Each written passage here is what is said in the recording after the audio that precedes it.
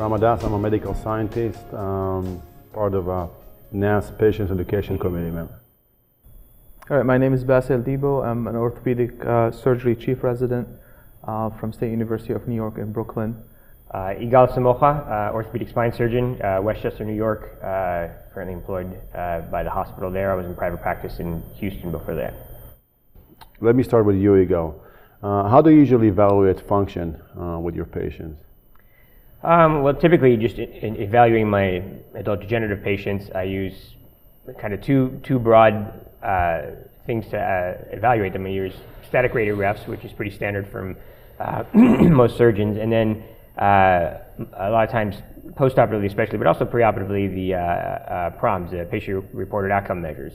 Um, and that's basically what we have to look at. Um, there's, there's the, the, functional evaluation is really more, you know, sometimes the history gathering a little bit, but really, really looking at more objective data in, in uh, the PROMs and in the uh, radiographs. Uh, obviously, there's limitations in that. Radiographs gives you a static image, uh, and there may be some limitations in your radiographic capacity, and then uh, the, the, the, tests or the, uh, the outcome measures are also limited by recall bias and by uh, you know, sometimes the patients aren't even filling them out themselves, or you know, the staff might not get it in properly. So there's, there's certainly limitations.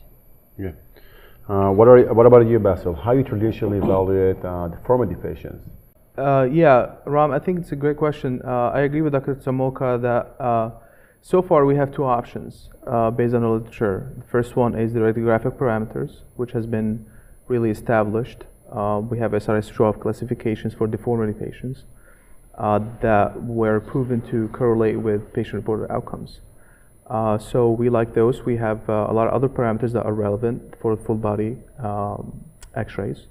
Uh, on the other hand, the patient-reported outcomes we use are also supported with data for about a few decades now, uh, namely ODI, SF36, and more um, disease-specific questionnaires.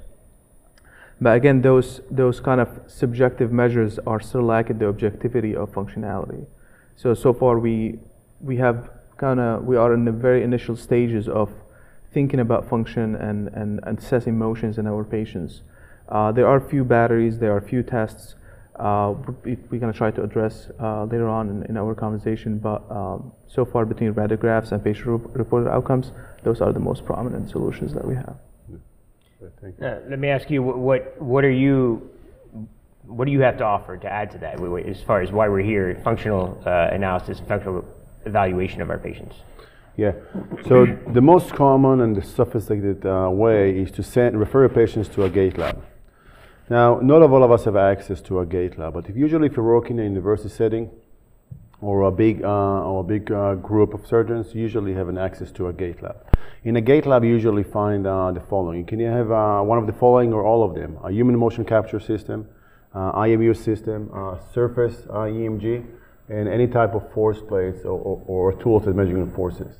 The human motion capture system is, is, a similar system like they're using in Hollywood to produce video games and animations. You put a bunch of reflective sensors on your patients and then you have a bunch of uh, special camera that are recording the motion of your patients. And they record everything, starting from um, uh, how fast are your patients are walking, how, how, how long they're spending on the ground for each steps, their step length, right side compared to left side, especially important for deformity patients. We, are looking about uh, symmetry, uh, range of motion, sway, and many other kinematics uh, things. Uh, new, new tools come along, which is the IMU sensors. They're much smaller, basically. They measure about the same information like uh, spatial temporals and movement, but you're not strict to measure those in the labs. You can just place them on the sensors. They can be in the clinic, they can be outdoor, anywhere you want, and they're measuring about the same thing. The same thing. They can tell you how fast the patients are moving, uh, range of motion for the lower extremity, upper extremity, trunk, neck, etc. On top of that, we have a surface EMG sensors. That like a regular EMG measuring your muscle activity, but the sensors actually stick to you so you can move with them and they're not involving any needles. This is surface EMG. This can tell you any information on neuromuscular activity, starting from the magnitude of, of the muscles, how much they're actually using the muscles with the walking, standing, and sitting, um, uh, muscle onset, when to fire each muscles, and we really important care about co-contraction between the agonist, the antagonist, the front of the spine to the back of the, of the spine muscles. We're also looking on the timing between uh, the lumbar muscles in relation to the pelvic and hamstring muscles and see how this all fire together. Uh, the last thing that you may have in a gait lab is uh, force plates, the measuring forces, and tell you, uh, telling you basically uh, ground reaction forces, joint torques, and other calculation that you can basically get out of it. You know, Ram, I, I mean, when I hear when he, when I hear you talk, it's it's it's it's very intelligent that we have all these tools in our in our deposit. But when I talk to my colleagues um, about function and, and assessing motion, uh, the, always this question about how feasible is to get to be to have a gait lab. How feasible is to send those patients to the gait lab to do like a 45 minutes test uh, let alone that the gait lab in itself is first expensive, second you need a smart person like you to run it, and, and, and we all know that in the field of orthopedics uh, or spine in general, spine care providers don't always have access to those kind of talents. So what do you think alternative solutions are to, to gait lab, and how do we move this science to the clinic? Yeah, so Bassel, you're absolutely correct. I mean, uh, the majority of us doesn't have an access to a gait lab. If you don't work in a big facilities that is affiliated with a university, you probably don't have a, a, a gait lab. Uh, on top of that, you're right. I mean, um, labor is pretty expensive. You have to get a PhD, a couple of masters in engineering, a couple of people running the lab, along with the whole uh, administration behind it. But the future is bright. There's actually many, many companies that working to try to simplify the gait lab with if it was a smaller sensors, are definitely much cheaper options. The first one I just did I mention earlier is the IMU sensor. It's basically a very small sensor that you can place on your patients, and you can walk anywhere in the clinic, in the waiting room, in the lobby. Then you can measure uh, the movement. You can see how fast they're working, how much they're limping, symmetry between uh, limbs. Another cool technology that is about to come out is a markerless um, system that there's actually uh, a, a, several company developing a uh, unique set of cameras that you don't need markers to evaluate your patient's functions. And they can record several people within the same area. So think about this scenario. You can basically uh, place several of the sensors in your lobby, in the waiting room. And while the patient's checking in, you already got their gait analysis. While they're standing and waiting, you get the balance test. And while they're sitting, you have the sit to stand test at the same time. And they didn't even see you. On the same time, so you get algorithm that push all the data to the EMR.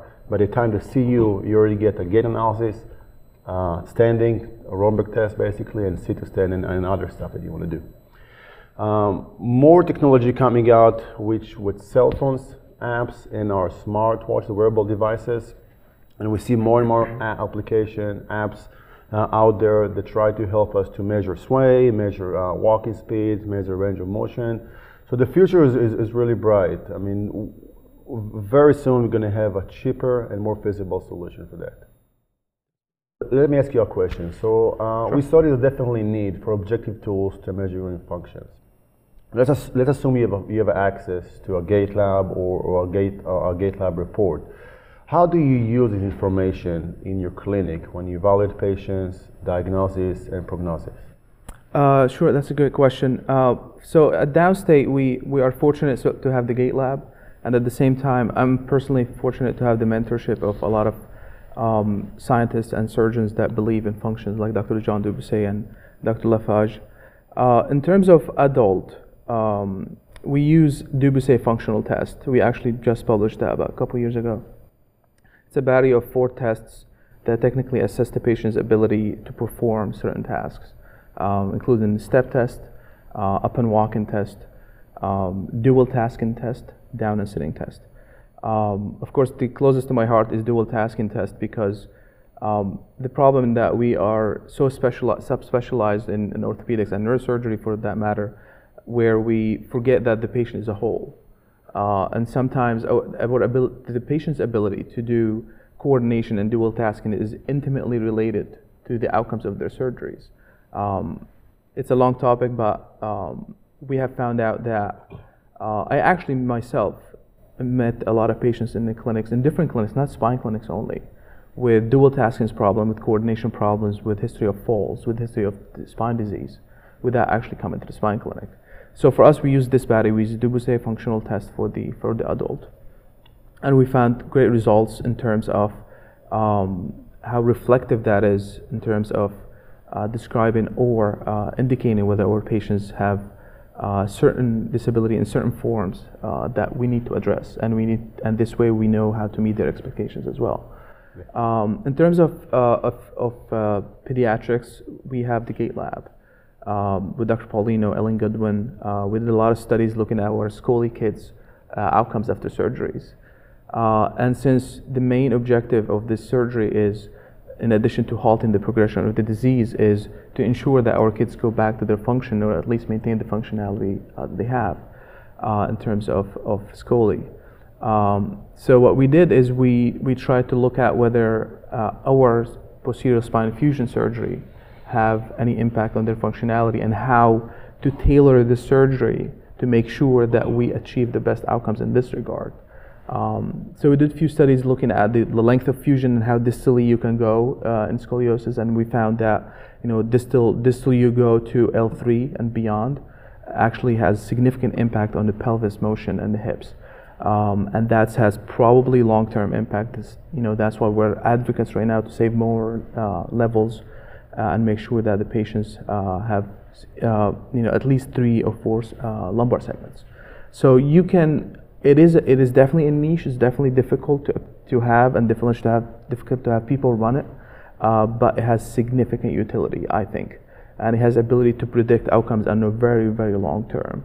Uh, I just want to highlight there's there there were studies, for example, that were presented in you know NASS or SRS, uh, where we sh- we we saw that 30, 40 years follow up for our patients, we have this like degenerative disc disease adjacent to the to the SCOLI curve and and things like that that now, if you use function and gait analysis, you probably don't need to wait 30, 40 years to, to adjust the treatment.